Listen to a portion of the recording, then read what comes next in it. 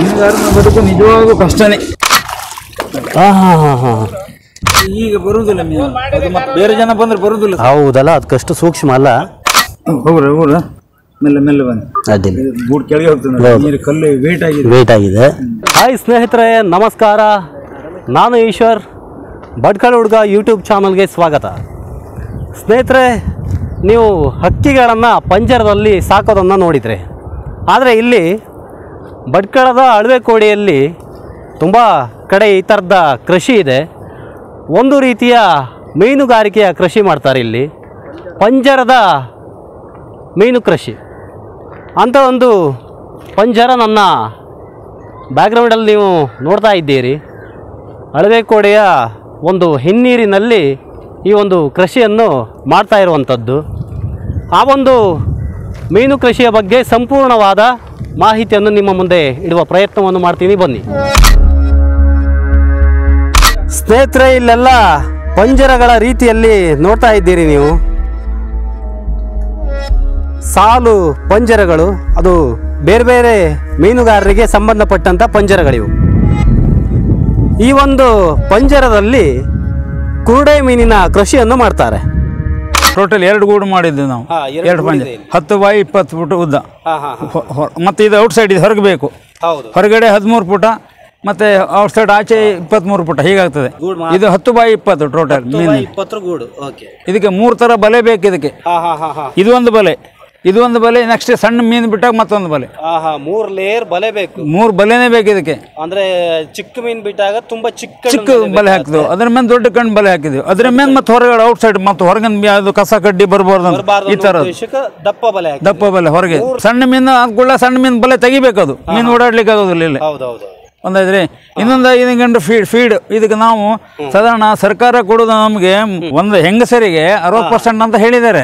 ಅದು ಹೇಳಿ ಇನ್ನೂ ಅದು ಸಾಧಾರಣ ಒಂದು ಲಕ್ಷ ಎಂಬತ್ತು ಸಾವಿರ ಮೂರ ಎರಡಕ್ಕೆ ಆರು ಲಕ್ಷ ನಮ್ಗೆ ಬಜೆಟ್ ಕೊಟ್ಟಿದ್ದಾರೆ. ಆರು ಲಕ್ಷ ಇದಕ್ಕೆ ನಮಗೆ ಎಂಟು ಲಕ್ಷ ಖರ್ಚಾಗಿದೆ ಈಗ. ಸ್ನೇಹಿತರೆ ಮೀನುಗಾರರ ಬದುಕು ಎಷ್ಟು ಸಾಹಸಮಯ ಅನ್ನೋದಕ್ಕೆ ನೋಡಿ ಇದೇ ಸಾಕ್ಷಿ. ಜಲರಾಶಿಯಲ್ಲಿ ಇಂಥದ್ದೊಂದು ಮಾನವ ನಿರ್ಮಿತ ಬ್ರಿಡ್ಜನ್ನು ಹಾಕಿದ್ದಾರೆ. ಈ ಬ್ರಿಡ್ಜ್ ಏನಿದೆ, ಇದಕ್ಕೆ ಬೆಂಡು ಜಾತಿಯ ಮರಗಳನ್ನು ಯೂಸ್ ಮಾಡೋಕ್ಕಾಗಲ್ಲ. ಯಾಕಂದ್ರೆ ಒಂದು ಸಲ ಈ ಬ್ರಿಡ್ಜ್ ಹಾಕಿದ್ರೆ ಏನಿಲ್ಲ ಅಂತ ಹೇಳಿದ್ರು, ಕಡಿಮೆ ಅಂತ ಹೇಳಿದ್ರು ಒಂದು ವರ್ಷ ಬರಬೇಕು. ಈ ಒಂದು ಮೀನುಗಾರಿಕೆ ಕೃಷಿ ಮಾಡೋದಕ್ಕೆ ಸರ್ಕಾರ ಸಬ್ಸಿಡಿ ಅದು ಇದು ಎಲ್ಲ ಘೋಷಣೆ ಮಾಡುತ್ತೆ. ಆದರೆ ಅದರ ಒಂದು ಕಷ್ಟ ಏನಿದೆ, ಅದು ಮೀನುಗಾರರಿಗೆ ಮಾತ್ರ ಗೊತ್ತಾಗುವಂಥದ್ದು ಮತ್ತು ಅನುಭವಕ್ಕೆ ಬರುವಂಥದ್ದು. ನೀರಿನ ಅಡಿಯಲ್ಲಿ ಒಂದು ಹತ್ತು ಫೀಟ್ ಆಳ ಇದೆ. ಅಂದರೆ ಸಾಮಾನ್ಯವಾಗಿ ನೀವು ಊಹಿಸ್ಕೋಬೋದು, ಇಂಥ ಕಂಬನ್ನು ನೀರಿನ ಅಡಿಯಲ್ಲಿ ಹುಗಿದು ಇಂಥ ಒಂದು ಬ್ರಿಡ್ಜನ್ನು ಕಟ್ಟಿಕೊಂಡು ಇಂಥ ಮೀನುಗಾರಿಕೆ ಕೃಷಿಯನ್ನು ಮಾಡಬೇಕಾಗತ್ತಂದ್ರೆ ನೀವು ಅವರ ಸಂಕಷ್ಟವನ್ನು ಊಹಿಸ್ಬೋದು. ಉತ್ತರ ಕನ್ನಡದಲ್ಲಿ ಕಾರವಾರ ಬೇಲಿಕೆರೆ ತದಡಿ ಮತ್ತೆ ಇನ್ನು ಕುಮಟ ಹೊನ್ನವಾರ ಮಂಕಿ ಎಲ್ಲ ಕಡೆ ಸಬ್ಸಿಡಿ ಲೋನ್ ಬಂದಿದೆ. ಮತ್ತೆ ಆಚೆ ಕಡೆ ಉತ್ತರ ದಕ್ಷಿಣ ಕನ್ನಡದಲ್ಲಿ ಪೂರ ಸಬ್ಸಿಡಿ ಎಲ್ಲ ಬಂದಾಗಿದೆ. ನಮ್ದು ಏನೋ ಒಂದು ಸ್ವಲ್ಪ ಪೇಪರ್ ಮಿಸ್ಟೇಕ್ ಆಯ್ತು ಅಂತ ಹೇಳಿ ಪೇಪರ್ ಮಿಸ್ಟೇಕ್ ಆಯ್ತು ಅಂತ ಡಿಸೆಂಬರ್ ತಿಂಗಳೇ ಕೊಡುವವರು ಇದ್ರು. ಎಲ್ಲ ನೋಡ್ಕೊಂಡು ಹೋಗಿದೆ. ನೋಡಿ ಬೋರ್ಡ್ ಎಲ್ಲ ಹಾಕಾಗಿದೆ. ಈಗ ನೋಡಿ ನಮ್ಮ ಕೆಲಸ ಆಗುದಿಲ್ಲ ಅಂತ ಇದೊಂದು ಕೆಲಸ ಮಾಡಿ ಸರ್ಕಾರದ ಕೊಡ್ತಾರೆ ಅಂತ ಹೇಳಿ. ಇದು ಹೋದ ವರ್ಷ ಬಂದು ಪೇಪರ್ ಏನೋ ಮಿಸ್ಟೇಕ್ ಆಯ್ತು ಅಂತ ಹೇಳಿ ನಮ್ಗೆ ಗೊತ್ತಾಗ್ಲಿಲ್ಲ ಪೇಪರ್ ಮಾಡೋ ಅಧಿಕಾರಿಗಳು ನಮಗೆ ಗೊತ್ತುಂಟ ಆಯ್ತು ಅದು ಕೊಟ್ಟಿದ್ರು ನಾವು ಡಿಸೆಂಬರ್ ತಿಂಗಳ ಕೊಡ್ತಾ ಅಂತ ಹೇಳಿದ್ರು. ಅವ್ರು ನಮಗೆ ಇನ್ನೂ ಲೋನೇ ಕೊಡ್ಲಿಲ್ಲ. ಇದಕ್ಕೆ ಒಂದೂವರೆ ಲಕ್ಷ ರೂಪಾಯಿ ಮೀನು ಬಿಟ್ಟಿದ್ದು ನಾವು. ಒಂದೂವರೆ ಲಕ್ಷ ರೂಪಾಯಿ ಮೀನು ಬಿಟ್ಟಿದ್ದು. ಮೀನ್ ಕರಿ ಮೀನಿಗೆ ಒಂದೂವರೆ ಲಕ್ಷ. ಮೀನು ಚಿಕ್ಕ ಮರಿ ಇರುತ್ತಾ? ಚಿಕ್ಕ ಮರಿ ನಲ್ವತ್ತೈದು ರೂಪಾಯಿ. ಇಲ್ಲ ಅದೆಲ್ಲ ಎಲ್ಲ ಎಸ್ಟಿಮೇಟ್ ಉಂಟು ನಮ್ಮ ಹತ್ರ.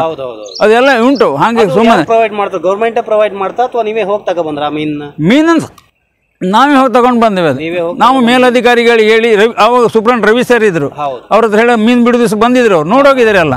ಸ್ನೇಹಿತರೆ ಈ ಒಂದು ಕುರುಡೆ ಮೀನಿನ ಕೃಷಿ ಮಾಡೋದಕ್ಕೆ ಇಲ್ಲಿ ಕೇಜ್ಗಳನ್ನು ಮಾಡಿದ್ದನ್ನು ನೀವು ನೋಡ್ತಾ ಇದ್ದೀರಿ ದೃಶ್ಯದಲ್ಲಿ. ಒಂದು ಕೇಜು ಹತ್ತು ಬೈ ಇಪ್ಪತ್ತಿದೆ. ಅಂದರೆ ಈ ಕೇಜು ಮಾಡೋದಕ್ಕೂ ಕೂಡ ಸಾಕಷ್ಟು ಹಣವನ್ನು ವ್ಯಯಿಸಬೇಕು. ಇದು ಖಾಲಿ ನೋಡ್ಲಿಕ್ಕೆ ಕಟ್ಟಿಗೆ ಅಷ್ಟೇ. ಹೌದು. ಆದ್ರೆ ಇದೆಲ್ಲ ಕೆಲಸ ಮಾಡ್ಬೇಕಂದ್ರೆ ಒಂದು ದಿನಕ್ಕೆ ಎರಡ್ ಸಾವಿರ ರೂಪಾಯಿ ಆಳು ಕೇಳ್ತಾರೆ. ಈ ಆಳಲ್ಲಿ ಇಲ್ಲಿ ಈಗ ನೆಲೆ ಆಗುದಿಲ್ಲ ನಮ್ಗೆ. ಇಲ್ಲಿ ಹತ್ತು ಫೀಟ್ ನೀರು ಈಗ ಉಂಟು. ಹೌದು. ಇನ್ನು ನೀರೆಲ್ಲ ಕೆಳಗೆ ಹೋದ್ಮೇಲೆ ಸಾಧಾರಣ ಆರು ಫೀಟ್ ನೀರು ಇರ್ತದೆ ಆರು ಫೀಟ್ ನೀರಲ್ಲಿ ಇರ್ತದೆ ಇಲ್ಲಿ. ಇಲ್ಲಿ ಡೈಲಿ ಆರು ಫೀಟ್ ನೀರು ಇರಲೇಬೇಕಿದು ಇಲ್ಲಾದ್ರೆ ಜಿ ಕೆಜಿ ಇದಾಗ್ತದೆ ಸಾಕಾಗಲ್ಲ ಸಾಕಾಗಲ್ಲ. ಇಲ್ಲ ಆರು ಫೀಟ್ ನೀರು ನೀರು ಕೆಳಗೆ ಹೋದಾಗ ನೀರು ಆರು ಫೀಟ್ ನೀರು. ಆವಾಗ ಇದೆಲ್ಲ ಮಾಡ್ಕೊಳ್ಬೇಕು. ಹೌದು. ಆವಾಗಲೂ ಅದು ಆರು ಫೀಟ್ ನೀರಲ್ಲಿ ನೀರಡಿಯಲ್ಲಿ ತಾಕತ್ ಸಾಲುದಿಲ್ಲ ಸರ್. ಅಲ್ಲ ದಯವಿಟ್ಟು ಮೇಲಧಿಕಾರಿಗಳಿಗೆ ಕೂಡ ನಮ್ಮ ಕೊಡೋದನ್ನು ಕೊಡಿಸ್ತಿದ್ದಾರೆ ಬ್ಯಾಂಕ್ ಸಾಲ ಎಲ್ಲ ನೋಟಿಸ್ ಸಿಕ್ಕಾಪಟ್ಟಿ ಬರ ಯಾರನ್ನು ಯಾರು ಕೇಳೋದು? ಈ ತರ ಮೀನು ಸಾಯ್ತಾ ಉಂಟು. ಫುಡ್ ಸಿಗಲ್ಲ. ಇದು ಸತ್ತೋಗಿರೋ ಮೀನು. ಸತ್ತೋಗಿ ಮೀನು. ಈ ತರ ನೋಡಿ. ಈ ತರ ಸಾಯ್ತಾ ಈಗೆಲ್ಲ ಸತ್ತು ಹೀಗೆಲ್ಲ ಆದ್ರೆ ನಾವು ಯಾರಿಗೆ ಏನಂತ ಕೇಳುದು? ಯಾರಿಗೆ ಯಾವ ಸವಲತ್ತು ಯಾವ ಗೌರ್ಮೆಂಟ್ ಏನು ಕೇಳ್ತಾರೆ? ನೋಡಿ ನೀವು ಬಂದು ಚಲೋ ಆಯ್ತು ನೋಡಿ. ಇಷ್ಟು ದೊಡ್ಡ ಮಾಡಿ ಮೀನ್ ಬಿಟ್ಟಿದ್ದು ಮೀನ್ ಸಾಯ್ತೆ ಅದು. ಹಾ ಸಾಯ್ತದೆ. ಇದು ಈಗ ವೇಸ್ಟ್ ಏನ್ ಬರೋದಿಲ್ಲ. ಒಟ್ಟು ಎಷ್ಟು ಮಂತ್ ಐತಿ ಮೀನು ಈ ಸೈಜ್ ಬರೋಕ್ ನಿಮ್ಗೆ? ಇದು ಬಿಟ್ಟು ಈಗ ನನಗೆ ಒಂದೂವರೆ ವರ್ಷ ಆಗಿದೆ ಈಗ. ಒಂದೂವರೆ ವರ್ಷ ಆಯ್ತು. ನೀವು ಒಂದ್ಸಲ ಮಾರಾಟ ಮಾಡಿರಾ ಅಥವಾ ಇನ್ನು ಮಾರಾಟ ಎಲ್ಲಿ ಮಾಡ್ಲಿಲ್ಲ ಎಲ್ಲಿ ಮಾಡ್ಲಿಕ್ಕೆ ಕಾಣ್ಲ ಎಲ್ಲಿ ಎಲ್ಲ ಕರೋನಾ ಅದು ಇದು ಸಿಕ್ಕಾಪಟ್ಟೆ ರಗಳೆ ಇದ್ದೇವೆ. ಈಗ ನಮ್ದು ಲೆಕ್ಕಕ್ಕೆ ಒಂದ್ ಸಾವಿರದ ಎಂಟುನೂರು ಮೀನ್ ಸತ್ತೋಗಿದೆ. ಹಾ ಹಾ ಹಾ ಹಾ. ಲೆಕ್ಕಕ್ಕೆ ಮೂರ್ ಸಾವಿರ ಮೀನ್ ಬಿಟ್ಟಿದ್ದು ಒಂದ್ ಸಾವಿರದ ಎಂಟು ಮೀನ್ ಸತ್ತೋಗಿದೆ. ದೇವ್ರದ್ ಒಂದ್ ದೇ- ದೇವ್ರದ್ದು ಒಂದು ಸಾವಿರದ ಇನ್ನೂರ ಇದ್ದು ಸಾವಿರದ ಇನ್ನೂರು ಮೀನು ಉಳಿತು ಇರಬೇಕು ಅದು ನೋಡ್ಬೇಕು ಅಲ್ಲಿ ಮೀನು ಹೊಡ್ಕ ತಿನ್ನೋದು ಇರ್ತದೆ. ತಿನ್ನೋದೇ ಇರುತ್ತೆ. ಅಲ್ಲಿ ಕೆಳಗಿಂದ ಏನಾಯ್ತು ಗೊತ್ತಾಗೋದಿಲ್ಲ. ಗೊತ್ತಾಗಲ್ಲ. ಇದು ಆಲ್ಮೋಸ್ಟ್ ನಿಮ್ಗೆ ಏನು ಗೊತ್ತಾಗಲ್ಲ ಅದ್ರ ಪರಿಚಯನೇ ಗೊತ್ತಾಗಲ್ಲ ನಿಮ್ಗೆ. ಅದ್ ನಾಳೆ ಮೀನ್ ತೆಗೆದ ಮೇಲೆ ಎಷ್ಟು ಅಂತ ನೋಡ್ಬೇಕು. ಎಲ್ಲ ಒಂದು ಲೆಕ್ಕ ಬಂದಿರೋದಿಲ್ಲ. ಹಾ ಹಾ ಅದರಲ್ಲಿ ಅರ್ಧ ಕೆಜಿ ಮೀನು ಇರ್ತದೆ ಮುಕ್ಕಾಲು ಕೆಜಿ ಮೀನು ಇರ್ತದೆ ಒಂದು ಕೆಜಿ ಮೀನು ಇರ್ತದೆ. ಅದು ಹೇಳಿ ಬರೋದಿಲ್ಲ. ಮನ್ಸರ ತರನೇ ಹೆಚ್ಚು ಇರ್ತದೆ. ಅದು ತಿಂದ ಮೀನೇ ತಿಂತಿರ್ತದ ಫುಡ್ ಹಾಕದ್ದು ಬದಿ ಹೆದರ್ತದೆ ದೊಡ್ಡ ಮೀನ್ ಕಡೆ ಹೆದರ್ತದೆ ಅದು. ಕರೆಕ್ಟ್ ಕರೆಕ್ಟ್ ಇದು ಒಳ್ಳೆ ಪಾಯಿಂಟ್ ಆ? ಮೀನ್ ಮೀನು ಆ ಮೀನು ಫೀಡ್ ಹಾಕಿದ ತಕ್ಷಣ ಬಂದು ನುಕ್ಕೊಂಡು ತಿನ್ನುತ್ತೆ. ತಿಂತ ಮತ್ತೆ ಮತ್ತೆ ಸಣ್ಣ ಕೆದ್ದ ಮೀನನ್ನು ದೊಡ್ಡ ಮೀನು ಹಿಡ್ಕ ತಿಂತಂತ. ಅದು ಮಾಡುತ್ತೆ. ಮೀನ್ ಮಾಯ ಮಾಡ್ತದ ಮೀನ? ದೊಡ್ಡ ಮೀನುಗಳು ಬಾಯಕಂತ ಹ್ಮ್ ಹ್ಮ್ ಹ್ಮ್ ಹ್ಮ್. ಮಟ್ಟಿಗೆ ಅಲ್ಲೂ ಯುದ್ಧ ನಡೀತದೆ.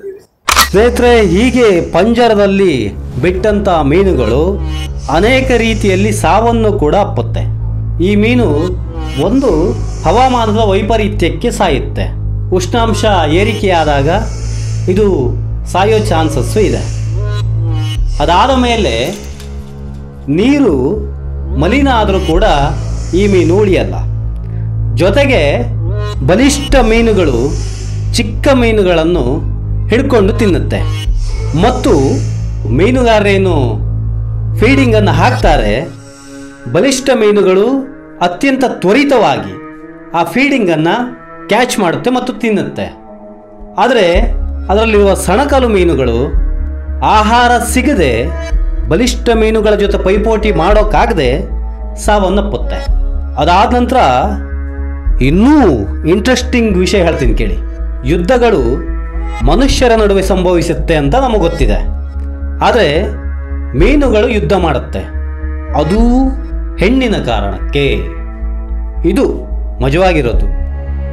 ಇಲ್ಲಿ ಏನಾಗುತ್ತೆ ಅಂತ ಹೇಳಿದ್ರೆ ಒಂದು ಹೆಣ್ಣು ಮೀನಿನ ಸಲುವಾಗಿ ಎರಡು ಗಂಡು ಮೀನುಗಳ ನಡುವೆ ಫೈಟಿಂಗ್ ಆಗುತ್ತೆ. ಈ ಕಾರಣದಿಂದ ಕೂಡ ಮೀನು ಸಾಯುತ್ತೆ. ಇದೆಲ್ಲ ಕಾರಣಗಳು ಈ ಮೀನುಗಾರಿಕೆ ಕೃಷಿ ಮಾಡುವಂಥ ಮೀನುಗಾರರಿಗೆ ನಷ್ಟವನ್ನು ಉಂಟು ಮಾಡುತ್ತೆ ನೋಡಿ ನಾವು ಬೆಳಿಗ್ಗೆಯಿಂದ ಮೀನು ತಗೊಂಡು ಬಂದಿದ್ದೀವಿ. ಮೀನು ಫುಡ್ ತಗೊಂಡು ಬರಬೇಕು. ಅದಕ್ಕಾಗಿ ನಾವು ನಮ್ಮ ಹೆಂಡತಿ ತರೋದು ಅಥವಾ ನಾವು ತರೋದು ಫೀಡ್ ತಂದು ಹಾಕಬೇಕು ಫೀಡ್ ಈ ಫೀಡ್ ಇಲ್ಲ ಫೀಡ್ ಎರಡು ಲಕ್ಷ ರೂಪಾಯಿ ಫೀಡ್ ಹಾಕಾಗಿದೆ ಫೀಡ್ ಇಲ್ಲ ಈಗ. ಫೀಡ್ ಫೀಡ್ ಹಾಕ್ಲಿಕ್ಕೆ ದುಡ್ಡು ತರ್ಲಿಕ್ಕೆ ಬಿಡ್ಡಿಲ್ಲ ಮೀನೆಲ್ಲ ತಗೊಂಡು ಹಾಕುದು ಈಗ. ಹೌದು ಆಕ್ಚುಲಿ ಅದಕ್ಕೆ ಅದರದೇ ಆದ ಒಂದು ಆಹಾರ ಅದೇ. ಅದೇ.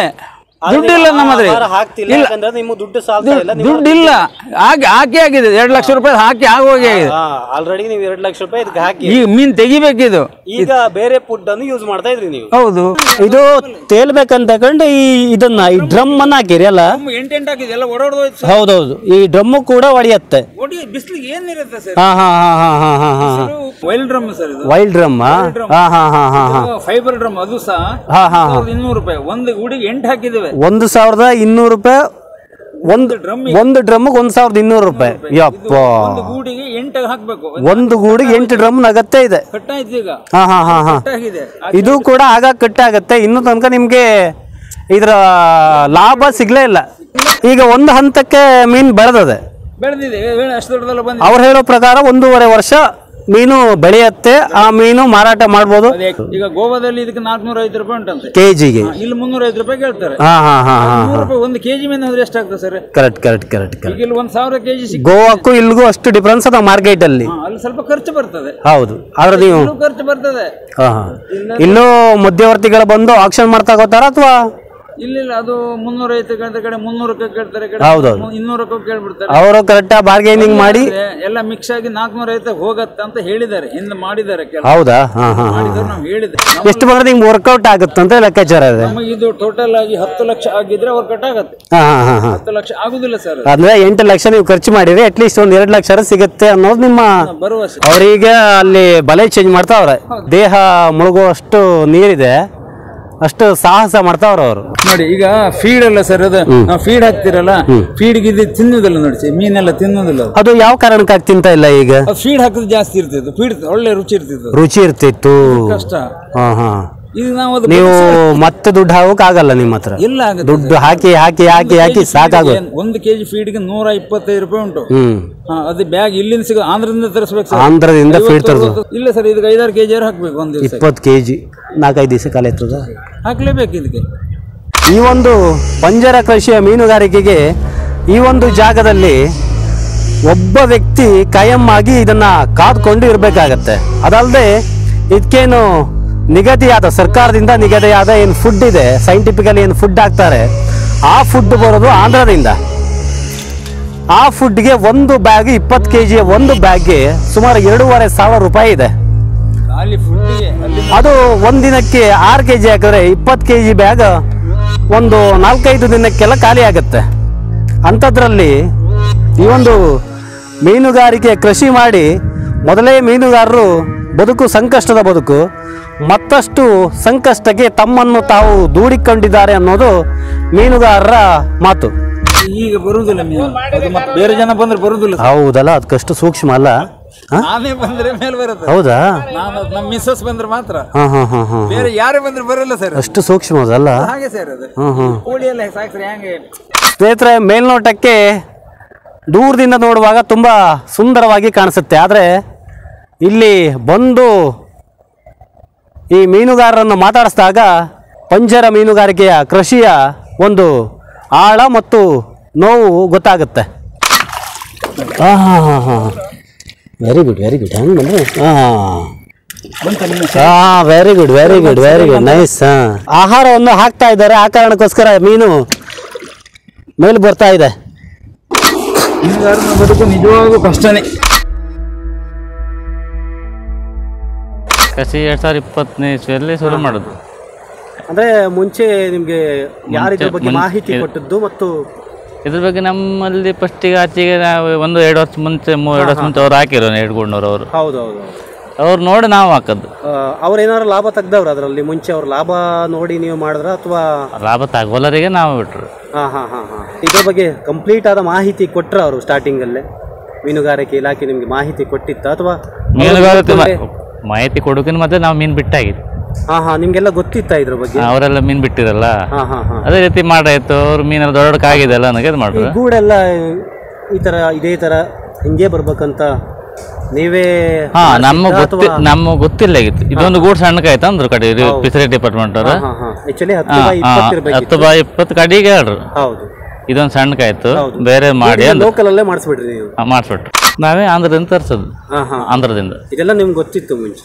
ಅವರೆಲ್ಲ ಆಂಧ್ರದಲ್ಲಿ ಈ ಮೀನ್ ಸಿಗುತ್ತೆ. ಇಲ್ಲಿ ಕುಮಟ ಈ ಸಲ ಕುಮಟ ಸಿಗ್ತಾ ಇತ್ತು ಆದ್ರೆ ನಮ್ಮ ಟೈಮ್ ಸಿಗಲಿಲ್ಲ ಅದು. ಈಗ ಅವ್ರು ಮಾತಾಡೋಲ್ಲ ಅವ್ರಿಗೆ ಮಾತ್ರ ಕುಮಟದಿಂದ ಬಿಟ್ಟರು ಕುಮಟಾದಿಂದ ಬಿಟ್ಟು. ನಾವು ಆಂಧ್ರದಿಂದ ತರಿಸೋದು. ಈ ಮೀನ್ಗೆ ಇಂತಿಷ್ಟೇ ಅವಧಿಗೆ ದೊಡ್ಡ ಆಗುತ್ತೆ?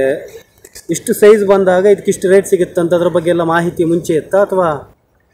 ಈ ಮೀನು ಇಂತಿತ್ತೇ ರೀತಿ ಅಂತ ಹೇಳೋಗಿಲ್ಲ ಯಾಕಂದ್ರೆ ಒಂದು ವರ್ಷಗಾದ್ರೂ ಯಾರು ರೇಟ್ ಬಂದ್ರೆ ತಾಳ್ಬಿಡ್ತಾರೆ ಆ ಮೀನು ಸೈಜ್ ಆಗಿರೋದಿಲ್ಲ. ರೇಟ್ ಬರೋದ್ರ ಬಂದು ಡಿಪೆಂಡ್ ರೇಟ್ ಬರ್ಲಿ ಬರಲಿ ತೆಗಿಲೇಬೇಕು ಈಗ. ತೆಗಿಲೇಬೇಕು ಕೊನೆಯಲ್ಲೇ ತೆಗಿಲೇ ತೆಗಿಲೇಬೇಕು. ಬರೀ ಲಡ್ಡ ಆಯ್ತು ಉಂಟು ಇದೆಲ್ಲ ಲಡ್ಡ ಆಯ್ತು ಬಿಸಿಲಾಗ ಮೇಲೆ ಇದು ಜಾಸ್ತಿ ದಿನಕ್ಕೆ ಬರಲ್ಲ. ಈಗ ಒಂದೂವರೆ ವರ್ಷ ಆಯ್ತು. ಹೌದು. ತುಂಬಾ ಲಾಸ್ ಈ ಮೀನು. ಯಾಕಂದ್ರೆ ಮೀನು ಮೀನು ಹಿಡ್ಕ ತಿನ್ನೋದು ಒಂದು ಒಟ್ನಲ್ಲಿ ಒಟ್ಟು ಒಂದಿನಕ್ಕೆ ಒಬ್ಬ ವ್ಯಕ್ತಿ ಇಲ್ಲಿ ಬೇಕೇ ಬೇಕೇ ಒಂದು ಆಳು ಬೇಕು ಇಲ್ಲಿ ನಮ್ಮ ನಮ್ಮನೆ ಹುಡುಗ ಅಂದ್ರೆ ಆಲ್ಮೋಸ್ಟ್ ಒಬ್ಬ ವ್ಯಕ್ತಿಗೆ ಒಂದು ಸಾವಿರ ಪ ಈಗಿನ ಕಾಲಕ್ಕೆ ತಕ್ಕಂತ ಒಂದು ಸಾವಿರ ಅಂತ ಹೇಳಿದ್ರೆ ಹ್ಮ್. ತಿಂಗಳಿಗೊಂದು ಮೂವತ್ತು ಸಾವಿರ ಖರ್ಚೆ. ಇಷ್ಟೇ ಟೈಮ್ ಅಂತ ಇಲ್ಲ. ಅಂದ್ರೆ ರಾತ್ರಿನೂ ಇರ್ಬೇಕಾಗತ್ತೆ. ರಾತ್ರಿ ಬೇರೆ ಕೆಲ್ಸಕ್ಕೆ ಹೋದಾಗ ಒಂದು ಎಂಟು ಅವರ್ ಕೆಲಸ ಮಾಡ್ತಾರೆ ಅಷ್ಟೇ. ಅಲ್ವಾ? ಅವನ ಮನೆಯಲ್ಲೇ ಬಿಟ್ಟದ್ದು ಒಂದ್ ಜನ ಮನೆ ಆಳೊಂದು ಇರ್ಲೇಬೇಕಿಲ್ಲ ರಾತ್ರಿ ಹಗಲು ಕಾಯ್ಲಿಕ್ಕೆ. ಆಲ್ಮೋಸ್ಟ್ ಗಾಡಿ ಪೆಟ್ರೋಲ್ ದಿವಸ ಭಟ್ಕಳ ಹೋಗ್ಬಿಟ್ಟು ತಗೊಬರ್ಬೇಕು. ಫುಡ್ ತಗೋಬರ್ಬೇಕು ಗಾಡಿ ಪೆಟ್ರೋಲ್ ಬೇಕು. ಸ್ನೇಹಿತರೆ ಇವತ್ತಿನ ಈ ವಿಡಿಯೋದಲ್ಲಿ ಪಂಜರ ಮೀನುಗಾರಿಕೆಯ ಕೃಷಿ ಮತ್ತು ಅದರ ಸಂಕಷ್ಟದ ಬಗ್ಗೆ ಮೀನುಗಾರರಿಂದ ಒಂದಷ್ಟು ಮಾಹಿತಿಯನ್ನು ನಿಮ್ಮೆದುರು ಇಡುವಂಥ ಕೆಲಸವನ್ನು ಮಾಡಿದ್ದೀನಿ.